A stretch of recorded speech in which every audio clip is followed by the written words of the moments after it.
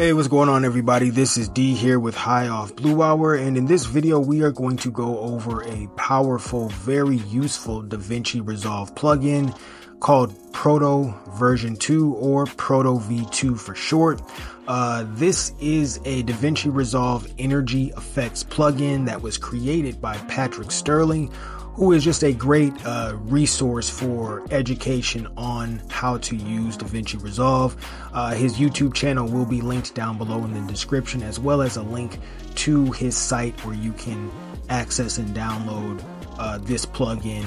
This video will not be a tutorial on how to actually install Proto V2. This is more so going to be about once it's already installed, just uh, what some of the things are that you can do with it and how you use it and just kind of you can get an idea of what's possible with this plugin. Now, so Proto V2, once you have it installed on DaVinci Resolve, you're going to really be able to access it in two different kind of tabs within your toolbox because there's multiple functions for the plugin. So the first one, we want to go into our toolbox, but the first tab we're going to look at is generators. So we're going to go down to where it says generators. We're going to hit the drop down arrow on that.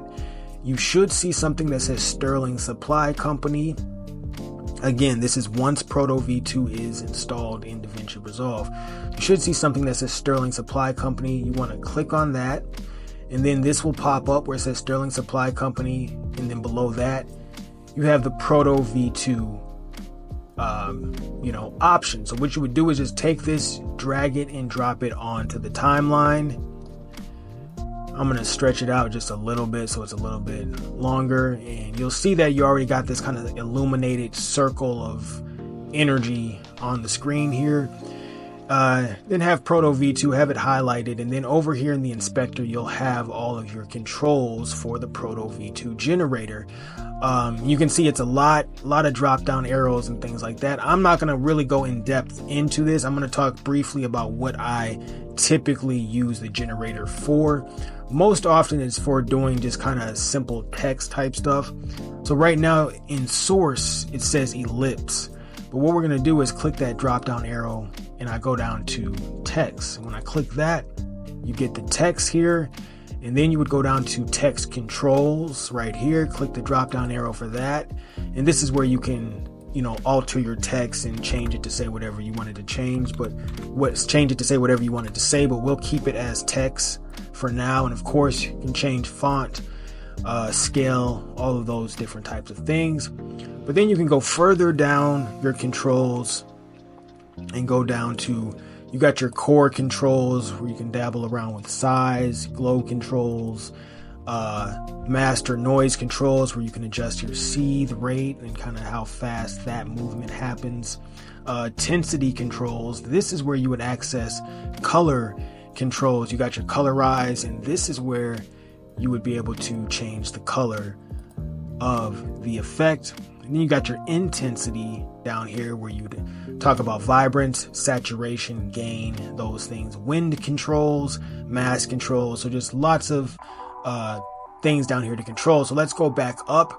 Next to your text controls, you have a tab that says presets.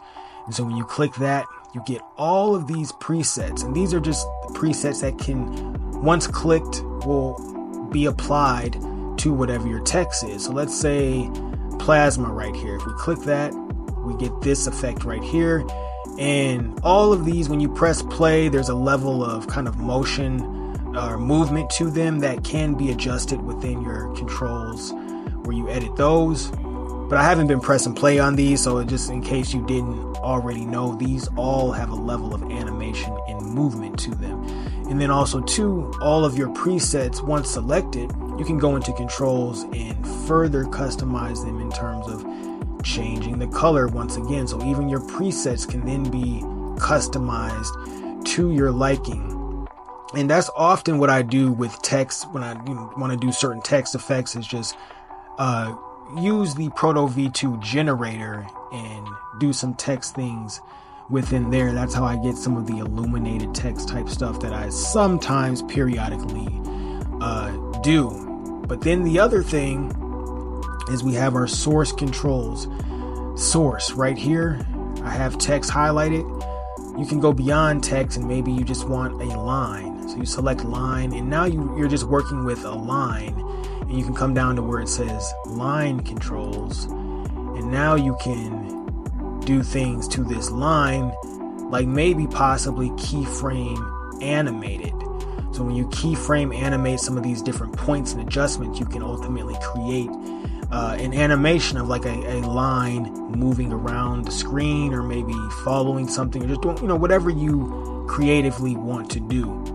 And you can go back up and change source from line to again ellipse or rectangle or polygon sharp or you can do a star and just so on and so forth. And all of these can be customized, of course. So that's a very brief tip of the tip of the iceberg look at the generator for Proto V2.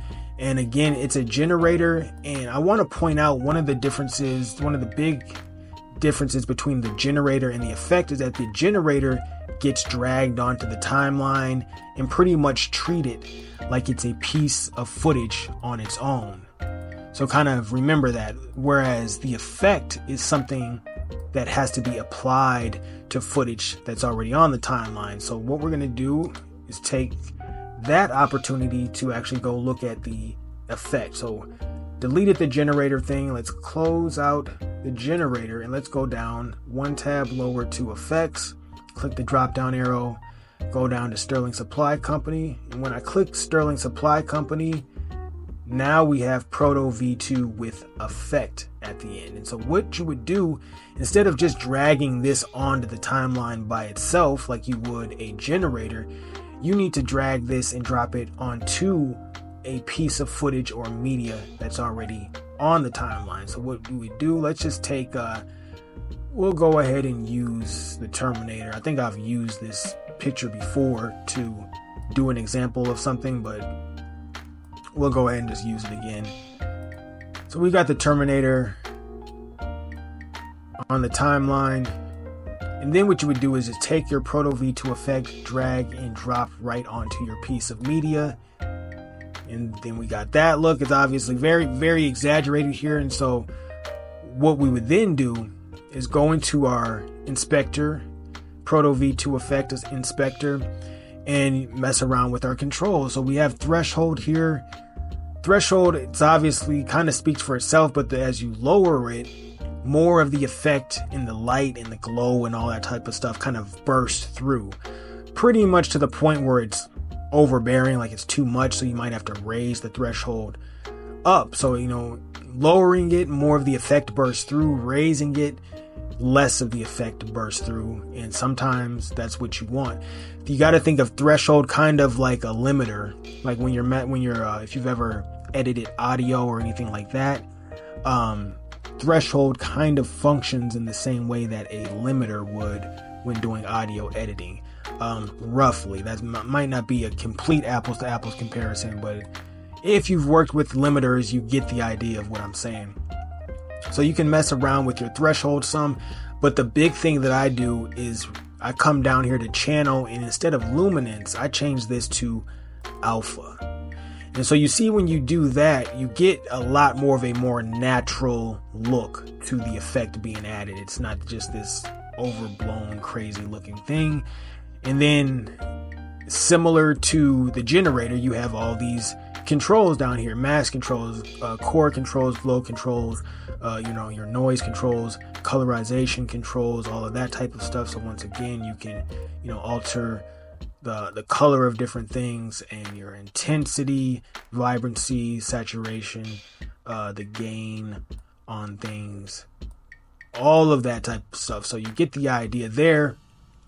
But and then again, instead of preset though, right here it says user. But you click on user and you basically get access to the same things that are labeled as presets uh, in the generator that we looked at earlier. So you can go ahead and click electro, you know, click plasma. All of these things will then get added to our piece of media that we've added the effect to. And again, any preset that we've picked, we can then go into controls and still further alter the color of that preset. You're not just stuck with whatever color the preset already has when you choose it. So uh, that's a good thing. So that's kind of I'm gonna cut the video short here because it's already a you know kind of a longer video than I maybe wanted to do. But that's one of the that's the big thing uh, to remember about uh, the difference between Proto V2 generator and Proto V2 effect. The generator you just drag onto the timeline. You can drag it onto the timeline on its own and kind of treat it like its own piece of footage. Whereas the Proto V2 effect, you have to drag that and drop it onto a piece of footage or onto a picture, an image, or a piece of media that is already on the timeline. So keep that in mind. Uh, there's going to be times, particularly when you first download this, that you might you know, accidentally pick Proto V2 effect and you're trying to make it do something that you have to actually go to Proto V2 generator to do. And but again, Proto V2, check it out. Very useful, very useful plugin, very powerful, very just slick, quality looking uh, results with it.